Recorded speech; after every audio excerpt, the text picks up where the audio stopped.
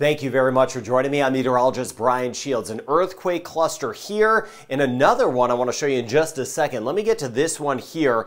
Over the last 10 days, almost 30 earthquakes. That's common. There's always stuff around, but it's been a little bit more than normal and the magnitude just a touch higher than uh, normal. There's been a couple over four in magnitude, which does happen. Now, an earthquake cluster is kind of defined as a cluster. It's a, a series of earthquakes, but there's not necessarily one big one in that. There's a lot of generally small smaller ones, but we've been feeling some anywhere from parts of the Dominican Republic through Puerto Rico and parts of the British and U.S. Virgin Islands. Puerto Rico, that's where we've had a couple that have been a little bit stronger over the last couple days, including this one very early this morning or late last night. This one about four in magnitude, not too deep, about six miles deep or 10 kilometers deep. This one just off of the uh, north coast, but we've had more activity in the southwestern coast and again over toward uh, the eastern end of the DR over the last couple days. But that is a new quake. And then you see as you get over here just a couple days ago, there's another one 4.4 in magnitude just to the north of the uh, British and U.S. Virgin Islands.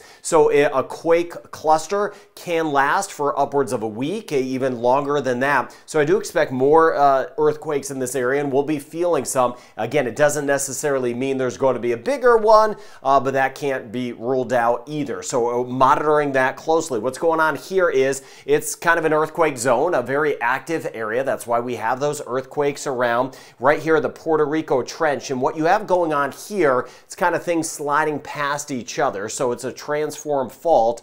So you get these uh, plates, if you will, just trying to slip past each other. And that causes that friction. And sometimes you get uh, some of those earthquakes. So it's a very active area uh, right along that uh, trench. And that's one of the typical hot spots that we watch. Now, a shallow quake is anywhere from uh, zero, uh, right at the surface, to about 70 kilometers down or about 40 miles down. And a lot of these have been shallow, and that's why we've been feeling them. Thank you for leaving me that information in your comments. Of course, the deeper down, the less you would feel it. Of course, it also depends on the magnitude. A really big uh, quake, even far down, we would uh, feel. Another spot I've been watching, Guatemala and parts of Mexico. Guatemala, there's another cluster. You may have been feeling some of these quakes. Guatemala, El Salvador, parts of uh, Honduras, and again, uh, southern uh, Mexico, we've had a couple quakes. But that cluster in Guatemala, some of these have been four to five in magnitude, so th those have been a little bit bigger. So we have two earthquake clusters that I'm watching. And again, anything kind of uh, looking a little strange out there or anything significant, I'll pass along that information for you. Now we have one front up to the north, little more moisture building toward Suriname. I want to get into the forecast where we're going to see some rain set up.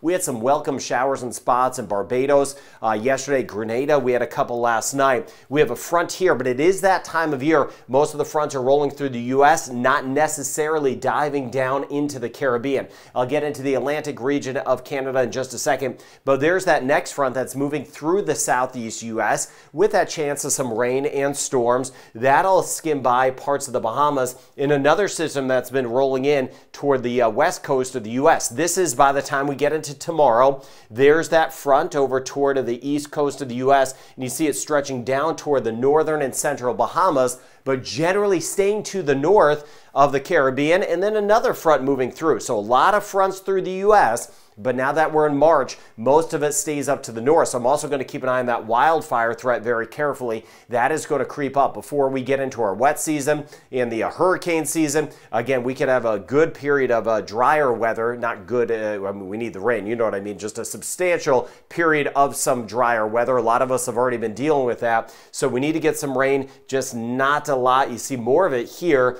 again, pulling back toward the Great Lakes, down toward uh, the southern parts of the U.S. So there's that front clipping by. Now, Guyana and Suriname, there's a little more moisture starting to feed in, and that is a sign of things to come. And once that kind of moisture belt lifts up to the north and we get closer to the start of hurricane season, which starts June 1st, of course, we'll get into our wetter season. But as of now, we're tracking just some spotty showers. But like we had yesterday watching St. Lucia, Barbados, we may see a couple showers sneak in. This is tomorrow. You see some of that rain up toward the northern Bahamas, a better chance of some showers tomorrow. Southern Southern Bahamas, Turks and Caicos, though, not much whatsoever. Cayman Islands, Jamaica would just be a passing shower.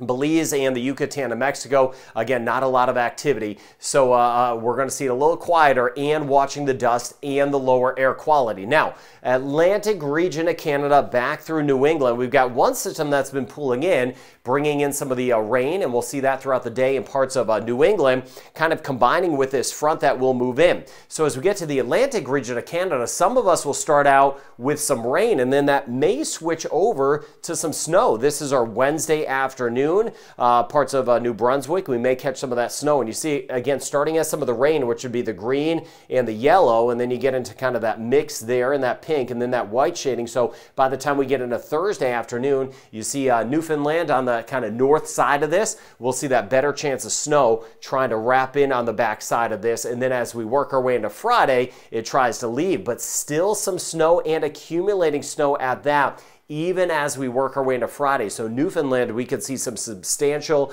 uh, snow amounts. Keep me posted on what you get or don't get in the comments. So as I was mentioning, Jamaica and the Cayman Islands, an isolated chance of a shower today, about a 30% chance. Trinidad and Tobago, a 10 to 20% chance. 30% chance in Barbados today. May see a few showers trying to scoop by Barbados into St. Lucia. We work our way into Grenada, rain chance limited. We did have a couple showers passing by. We may still get a few around. Same thing, St. Vincent the Grenadines. Just depends on where they set up, where we'll see a few of those showers and storms, um, mainly just showers though. Martinique, a couple isolated ones. Dominica, the rain chance is not super high. Same thing as we get into Guadeloupe, 10 to 20% chance. And then mainly dry Antigua and Barbuda. We're mainly dry St. Kitts, Nevis, and Montserrat. Same thing as we get toward Anguilla and St. Bart's. That rain chance stays low. It's low in St. Martin, Saba, Statia. It would be a passing shower, and that's it. Puerto Rico, a little higher by the time we get into Thursday with that front. That'll be just to the north. U.S. and British Virgin Islands, about a 10 to 20% chance of a shower. Dominican Republic, a limited chance, and mainly dry and on the hot side as we work our way into Haiti. Bahamas, rain chance, as I mentioned, northern Bahamas, a better chance tonight into tomorrow. Turks and Caicos, rain chance stays on the low side. Just a 20 to 30% chance of a passing shower across Cuba. Belize, that rain chance limited. You get toward Cancun and Cozumel, rain chance also on the limited side. Uh, will be mainly dry Aruba Aruba, Curacao, Bonaire We'd have to get lucky to get a shower. Still generally slightly lower air quality with some of that dust around. Bermuda, passing shower possible, and then we'll keep an eye on that front. Costa Rica and Panama, that rain chance is on the low side. A little higher in Costa Rica, a little lower in Panama, but Guyana, rain chance 50% tomorrow. Suriname, scattered showers possible tomorrow. Northern Venezuela, rain chance just about 20%. So lots to track, of course, watching those earthquake clusters, the one near Puerto Rico and the Virgin Islands, and the other one near Guatemala. Scattered areas of showers around, especially Guyana and Suriname. Dust around over toward the ABC Islands, back toward uh, Trinidad, and tracking the ash with El Popo. I highlighted that in yesterday's video uh, in uh, near Mexico City and Puebla. Lot, uh, lots of ash, and still, again, those eruptions that have been going off uh, overnight and this morning. And I'll monitor those earthquakes elsewhere. Thank you for being part of this channel and sharing this information and taking the time to subscribe. Have a good rest of your day.